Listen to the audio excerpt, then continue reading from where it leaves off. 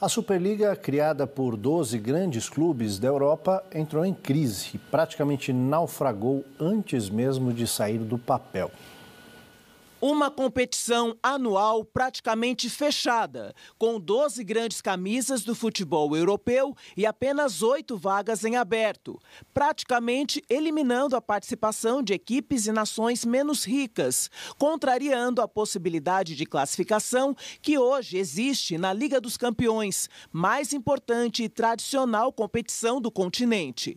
As reações contra essa espécie de Liga dos Clubes bilionários vieram de todos os lados.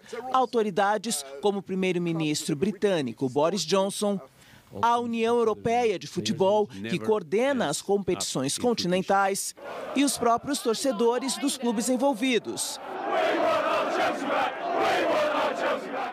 Sentimento muito bem explicado pelo espanhol Pep Guardiola, técnico do Manchester City, uma das equipes que fariam parte da liga milionária. It's not a sport when the relation between the effort and the success, the effort and reward doesn't exist, don't exist.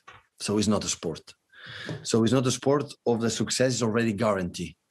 It's not a sport and it doesn't matter if you lose. And it's not fair when one team uh, fight, fight, fight, arrive at the top and after cannot be qualified because the success is, is already guaranteed for just for few clubs. Os britânicos foram os primeiros a abandonar a ideia. Manchester City, Tottenham, Arsenal, Chelsea, Liverpool e Manchester United abandonaram a proposta. A crise levou à demissão do principal dirigente do United, um dos idealizadores do projeto. Seguindo os passos dos ingleses, o Atlético de Madrid, da Espanha, a Internazionale e o Milan, da Itália, também anunciaram que não vão mais participar.